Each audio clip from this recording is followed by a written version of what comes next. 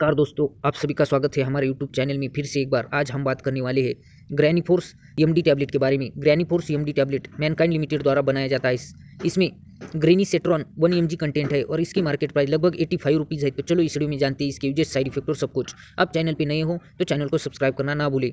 Granny force tablet DT के लाभ granny force D chemotherapy के कारण उल्टी जी में चलना के यूज़ में आता है। ग्रैनीफोर्स एमडी टैबलेट का इस्तेमाल कुछ दवाओं या कैंसर के इलाज के कारण होने वाली मिचली या उल्टी को रोकने के लिए किया जाता है। यह दवा केमिकल के एक्शन को ब्लॉक करता है, जो आपको बीमार महसूस करवा सकता है। ये बीमार कर सकता है। ये दवा आपको कैंसर के इलाज में रेडिएशन थेरेपी या कीमोथेरेपी से अधिक आराम से स्वस्थ करने में मदद करती है। ग्रैनी फोर्स टैबलेट डीटी के साइड इफ़ेक्ट इस दवा से होने वाले अधिकांश साइड इफ़ेक्ट में डॉक्टर की सलाह लेने की ज़रूरत नहीं पड़ती और नियमित रूप से इसका सेवन करने से साइड इफ़ेक्ट अपने आप समाप्त हो जाते हैं। अगर साइड इफ़ेक्ट बने रहते हैं लक्षण बिगड़ने लगते हैं तो अपने डॉक्टर से सलाह ले।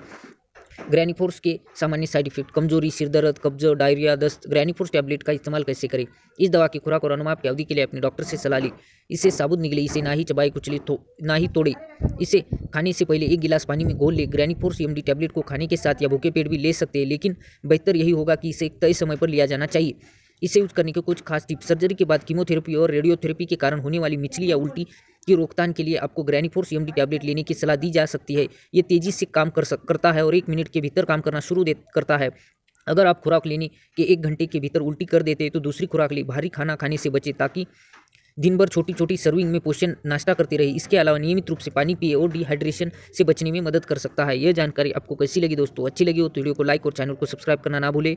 अंत तक देखने के लिए धन्यवाद दोस्तों।